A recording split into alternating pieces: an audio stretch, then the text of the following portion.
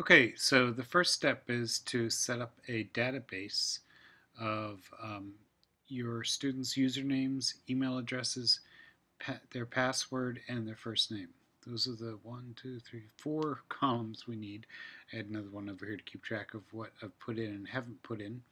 Then, of course, you need to log in at Youth Voices. And as an administrator, you should be able to find admin options up here in the right hand corner. All right. Once you're in admin options, you scroll down, you find add users. And so under add users, you want to fill in these these things right here. Uh, these fields. I'm going to set this up like this.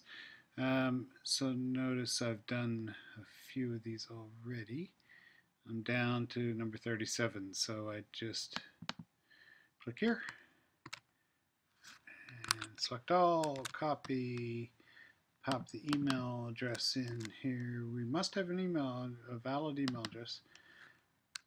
Copy, select all, copy, and pop in the username.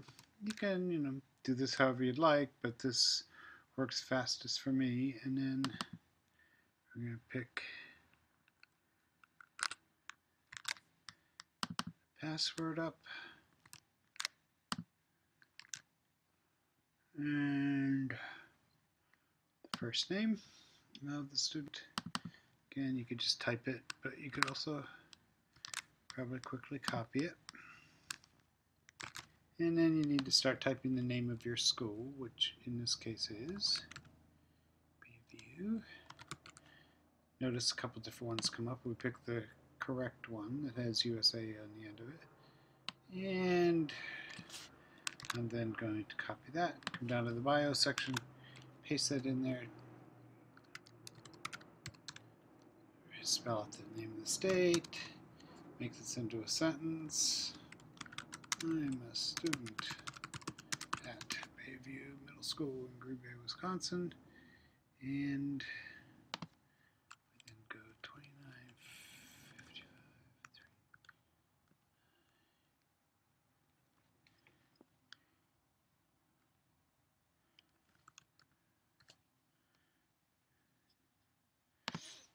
We create our new account after we put the captcha in and it shows up here as being created. I come here and I cross it off as having been completed. Now there is, actually I shouldn't have done that yet. There is one more step, unfortunately, but this there are reasons. you want to come over here and um, go back into administrator users. You can do this after you do several. You don't have to do this for each one. Click here, go here, and add a member role. And confirm. Again, you can do that as a bulk um, entry after you do several students at a time.